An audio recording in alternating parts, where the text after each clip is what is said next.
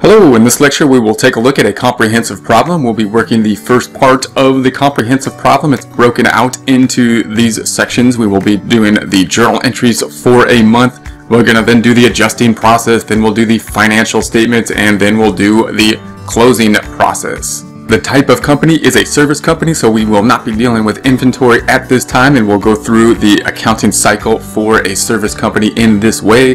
We're going to have the data on the left-hand side of each tab. We'll enter that data into the blue areas is where we want to indication of where the data should be implemented.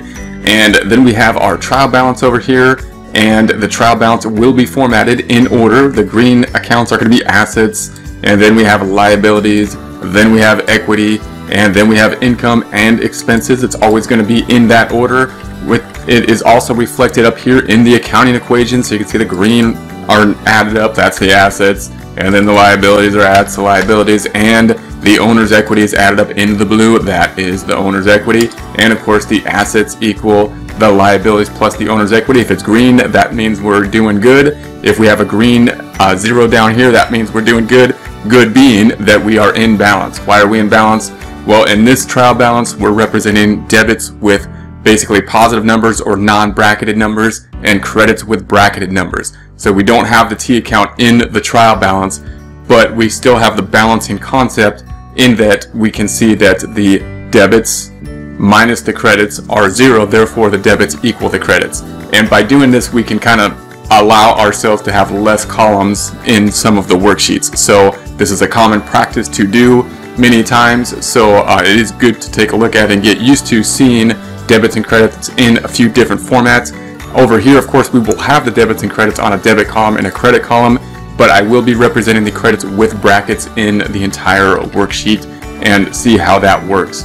We then have the general ledger over here, and the general ledger is this long, kind of intimidating looking uh, item of ledgers, but it's basically just the backup for the accounts on the trial balance. So we've got the same list of accounts, same order, the assets, being, and then the liabilities, then the equity. So we've got cash, then accounts receivable, then supplies, then prepaid rent, then prepaid insurance, office equipment, accumulated depreciation, and then we're into the liabilities, accounts payable, salaries payable, unearned fees, and then we're going into the equity, owner's equity draws, and then we're in the income statement revenue, and then all the expenses list out listed out in this way.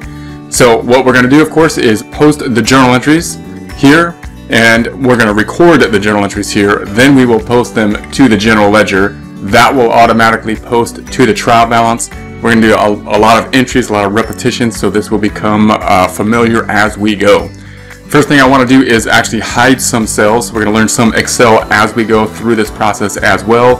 And basically I want to put my information into these cells here and I would like to hide these cells just so they're out of the way and we don't have to see them and deal with them. In order to do that, I'm going to put my cursor right on the F here so you can see the drop down. Click so the whole column is highlighted. And then I'm holding down the left click and I'm going to drag until I get to column J. I'm letting go of the left click. And then I'm going to right click in the selected area and go down to hide. So we'll hide that selected area so that now we can see the journal entries we're going to work in, the space we're going to put it, and the trial balance all in one area. Alright, so the first uh, date is 5-3, so I'm going to put that in the date area, and it, sees, it says we received cash from clients for advance payment for services that will be prepared in the future. Record as unearned revenue. So first thing I'll always ask through these, is cash affected? So is cash affected? because if it is, it's the easiest account that we will get to know because cash is going to be affected more often than most other accounts. In this case, it says, yeah, cash is affected. Cash is right here. It says we received cash, therefore cash must be going up. So the question is, how do we make something go up? Well, the way I'm going to go through this list of questions, and I'm going to go through this list of questions in order to avoid some common pitfalls. So I do suggest going through this kind of list of questions so that you avoid some common mistakes that will happen and that will be, well, is, is cash a debit or credit balance? It's a debit. How do we know? Because it does not have brackets around it, unlike the credits that have brackets around it. How do we make something go up? We do the same thing to it as what it is. So this is a debit. We need to do the same thing to it, which would be another debit in this case. So I'm going to copy this by right-clicking the cash and copy it. I'm going to put the debit on top. So here's my date. I'm going to put the debit on top. Why? just tradition, it goes on top, debits go on top. So I'm going to right click and I'm going to paste it one, two, three, just the values only. If I paste it this way, then I change the format of the cell. I just want to paint the value values. Now you could just type it in there, obviously, as well. So if you, um, you know, if you just typed in cash, that works as well. But uh, copy and pasting might be easier as we go later on. I'm in the debit column, the debit side, and we're going to put the 4,000 there. And I'm just typing the 4,000 and note that I'm not putting a comma or anything. I'm just typing 4,000. I'm in the cell instead of on the cell, and then we got to hit enter or something in order to be off the cell. So I'm to hit enter, and now you can see that uh, I'm not in the cell. Now I'm on the cell. Where if we debit something, then we're also going to have to credit something. So I'm going to represent credits on this worksheet with a negative. So I'm to put a negative 4,000. Now credits don't mean negative, they're not bad. Negative not is not a negative term in this case. negative is just how the credits are going to be represented in the worksheets so that we can use Excel in formulas to help us do some calculations. Note when we hit enter now, it's going to change that negative sign to brackets. That's the formatting of the cell that is doing that. The worksheet is formatted to do that. If you want to know where that formatting is, it's, it's in this section here in the formatting section. You can also right click on the uh, item go to format cells and if you go to the number section then uh, you can see the different types of formats and of course we are in this bracketed format rather than having the negative sign. Alright, so now we just need to know what that other account will be and you would think that if we did work that we would record the other side usually being revenue. But in this case, in this case it says that we have not yet done the work so therefore we haven't yet earned the revenue so the credit is actually going to have to go to a liability account, in this case being unearned revenue. And unearned revenue, we can see right here, has a credit balance represented by the fact that it has brackets around it. We already know that we're going to credit it because we had to debit cash. If we credit a credit balance account, we'll be doing the same thing to it, which will make it go up. So if we credit this account, it will make it go up. That makes sense because uh, unearned revenue represents something that we owe in the future for something that happened in the past what happened in the past, what happened right now. We got money. What do we owe in the future? Our service. So I'm going to go ahead and copy that. I'm going to right click, I'm going to copy. I'm going to go over to uh, C6, right click and paste it one, two, three. Alright, now we're going to go ahead and post this. Now we're going to have to post this to the general ledger over here. So we got to find these two accounts on the general ledger. So here's cash, for example, and we see the debit and the credit side we see that we debited cash. I'm going to go over here in cell O. There's O9 and I'm going to say equals. And I do highly recommend putting formulas instead of just typing a number in here because if you do then if you're there's a mistake it's a lot easier to go back and find that mistake. So I'm going to say equals. I'm going to point to that 4,000. When we hit enter the debit's going to go up from 22.1 to enter 26.1 and we'll see we're out of balance here now. We're out of balance here now by 4,000. That 4,000 being the credit here. So we're going to have to find unearned revenue. We could make this the whole sheet a little bit smaller here if we went down to the taskbar. If we want to see it smaller, uh, it's about as small as I want to go. But if we go down to there, we can see a few more of these general ledger accounts in the same screen. And so if I go down here to unearned revenue, I want to be in the credit side in this case. And uh, we're not going to put any negative signs over here. All we need is an equal sign. And then point to this balance in E6 and then if I go back over here, when I hit enter, it's going to go up in the credit direction. So notice it went up. Excel sees it going up in a negative direction, but we see it as going up in a credit direction because we're dealing with debits and credits in this case. That of course puts us back in balance. We can see that 6.5 here is also the 6.5 there. We can see that the 0 is back in balance here and our equation is back in balance up here as well. So let's go back over here and I'm make this a little bit larger once again and go to the second item which is going to be on 5.5 and it says receive cash from clients for work done in the past and recorded as accounts receivable. So the first question I'm always going to ask is cash affected? And, and once again it says received cash. Therefore cash is affected. Then we need to have cash go up because we received it. Therefore cash must be going up. We ask how do we make cash go up? Well cash has a debit balance by the fact that it does not have brackets around it the way to make something go up is to do the same thing to it, which in this case happens to be another debit. So I'm going to right click on that, going to copy it, going to put my cursor over here in C8, it's C8, and I'm going to right click, going to paste it 1, 2, 3, that's just the values only when we paste it to values only like so. Then we'll put the 3, 1 on top in the debit column, And then in the credit column, if there's only two accounts affected, we have to have an equal number of debits and credits. So we're going to put the same negative. I'm going to represent with a negative 3100. And once again, when we hit enter, then it'll put those brackets around. So I'm going to hit enter, and because of the format of the cell, it put bracket around it.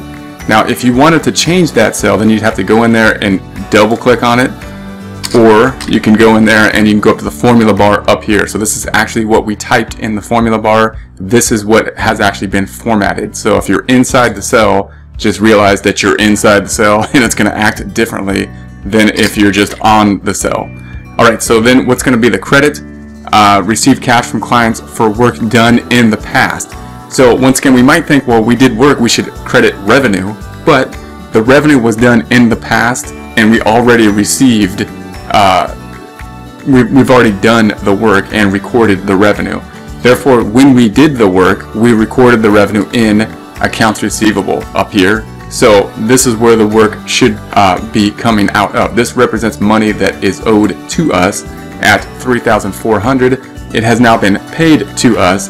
Therefore, this 3,400 needs to go down in this case. And how do we make something go down? We do the opposite thing to it as what it is. This is a debit. Making it go down would be necessary to have a credit. We already knew that because we debited cash, so there's the credit. This is the account that we will credit, which will reduce the receivable. Receivable will go down, which is an asset. It's a good thing. People owe us money, but we would rather have the cash. Receivable is going to go down, and the better asset of cash will go up. Going to right click, going to copy that, going to go to cell C9, right click and paste it one, two, three, just the values only. Then we're going to go ahead and post that. So I'm going to scroll over to the general ledger. I'm going to go over enough so we see more of the general ledger. I'm going to make it a little bit smaller in the taskbar down here. And then we'll go to the cash here. So we're going to post this cash line to the general ledger to the cash section. And it's on the debit side, so I'm in cell O10, cell O10, and I'm going to just say equals and then point to that 3, 1. And I do recommend using the formulas here and then saying enter. Cash goes from 26.1 up to 29.2. That puts us out of balance because that 29.2 also carries over to the trial balance now we need to record the other side. We're out of balance by the 3001. That's going to go to accounts receivable on the general ledger. This is called posting. So here's the accounts receivable. It's a credit, so we're going to go on the credit side. We're going to say equals and point out to this 3001 and that 34 should go down by the 312, in this case 300. That then 300 is back on our trial balance. That's where this number is coming from. Notice you got these handy little tabs up here. You can see, well, that number is coming from there. That's one of the reasons formulas are handy. Uh, if you want to know where these tabs are, they're in the data group. And, uh, no, they're in the formulas tab. And then they're in the formatting auditing group. And there are these two icons here. So I like to put those in the quick taskbar by right clicking and putting them in to uh, the quick add to the quick toolbar. So there we have that, and we're back in balance. I'm going to make it a little bit bigger again down here and take a look at the uh, next transaction, which will be on 5-9. So we paid cash for miscellaneous expense. Alright, so miscellaneous expense, so the question is, once again, is cash affected? And it is. We paid cash. So in this case, we paid cash. Cash must then be going down in this case. So how do we make something go down? We do the opposite thing to it. Cash is a debit balance represented by the fact that it does not have brackets around it. Therefore, the opposite of a debit is a credit. So to make it go down, we're going to credit cash. We're going to right click on cash, copy it. I'm going to put it on the bottom. So here's the date. I'm going to put it on the bottom. Why? Because credits just traditionally go on the bottom. We could um, uh, have an exception to that rule. It doesn't really matter as long as it's in the right column.